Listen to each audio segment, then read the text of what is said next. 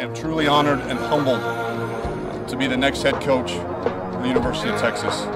And you have my word that I will work every day to lead a program that you are proud of.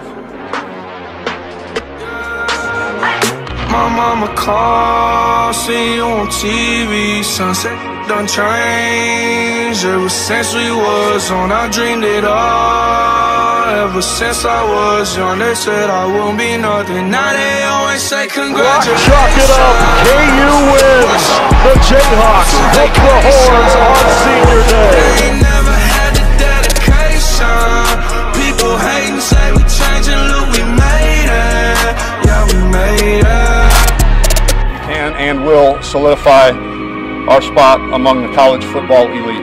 And guess what? The really cool thing is it takes no talent to do that, which none of you have. Yeah, for the money I'm a savage. Yeah, I be itching like I had it. Yeah, I'm surrounded 20 bags.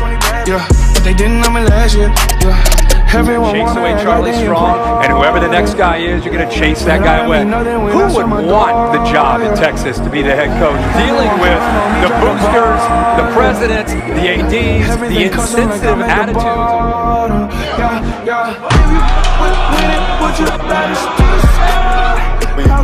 A I lot of make water, sense when I got staying me? hydrated, staying hydrated. Coming with it, with it. And Oklahoma State blocks a kick and gets points out of it. My mama called, see you on TV, sunset done changed ever since we was Three on, practices, we've had literally 100% Since guys that were- were fully hydrated. Now they always say. Congratulations. Worked so hard, forgot how to vacation. They ain't never had the dedication. People hating, say we changing, look we made it. Yeah, we made it.